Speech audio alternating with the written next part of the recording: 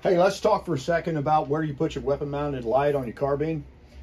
So if you see this one here, this is a Modlite and it's pretty, it's, it's recessed a little bit, right? About three inches back from the end of the muzzle device. The reason is because this is a white light. I don't run a lot of white light. Most of the things that, um, you know, that I do is infrared under night vision. The majority of the things that we do here, you know, we do um, under night vision. So White light is not the primary source of illumination. That being said, why do we put it back this far? Because I do not want to have an AD with that, right? So you got a, a True North Concept, True North Concept uh, grip stop here. We've got um, a tape wrap here, which also helps to shield the hand from uh, heat buildup inside this uh, forend. And then you got the light recessed a little bit so that when you drive the hand in there, it gives you a good touch point if you're doing this in the dark, right? You can feel that, that, and this, and you know, bam, my hand's in the right spot. No chance of me driving that hand in too far. The fat part of my hand here is not going to activate that light because the button is so recessed inside that, that Modlite tail cap.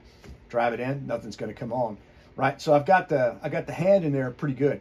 Now if I need to hit the white light for whatever reason, drive it back, bam, I hit it. But that's, you know, that's, uh, it's got, it's gonna be a dedicated, it's a dedicated um, decision to come back off of that and hit it. And that's what you want. You don't want to have an option where you're accidentally hitting it, right? So you push it too far forward and, you know, you think, well, that's ergonomical. I can just drive the finger up or the thumb up and bang it. But you don't, you don't want it to be well, let me put it this way. I don't want it to be that easy where I just drive the thumb up and hit it. I want to have to come off and pop it to activate that white light, especially if I'm in a, uh, a no, an IR light environment.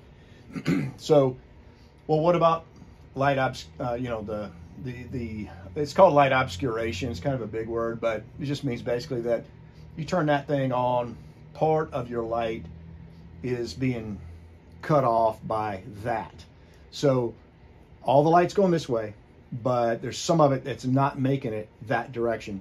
And no, that's not an illegal substance on my hand. It's some product we were making earlier that um, is still on me. Anyway, uh, you see this part right here. That much of the light is being cut off downrange. Okay, big deal. It's not that big of a deal. If it is to you, then move your light on out.